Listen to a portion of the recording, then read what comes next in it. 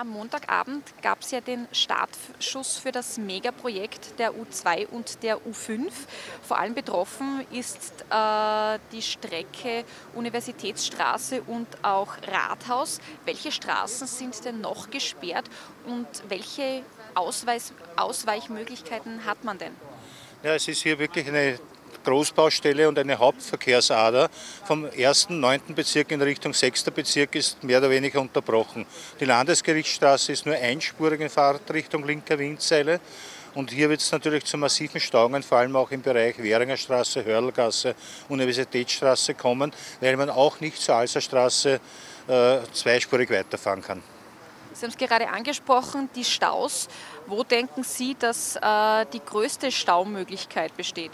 Na, eigentlich aus beiden Richtungen, sowohl wenn man von der linken Windseile Richtung Rathaus fährt, als auch in der Gegenrichtung äh, von Bereich Schwarz-Spanier-Straße, äh, Hörlgasse in Richtung Zweier, ehemaliger Zweierlinie. Die Verkehrsumleitungen, die sollen ja ganze vier Jahre andauern. Was würden Sie den Autofahrerinnen und Autofahrern raten?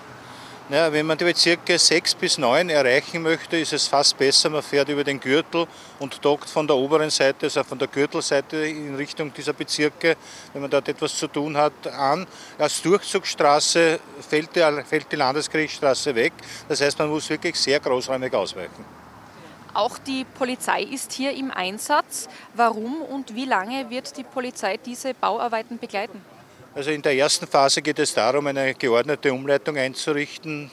Wir überprüfen auch, ob die Bodenmarkierungen, die Verkehrszeichen in Ordnung sind. Dann in der zweiten Phase natürlich auch die Ampelanlagen, damit die äh, Grünzeiten angepasst werden.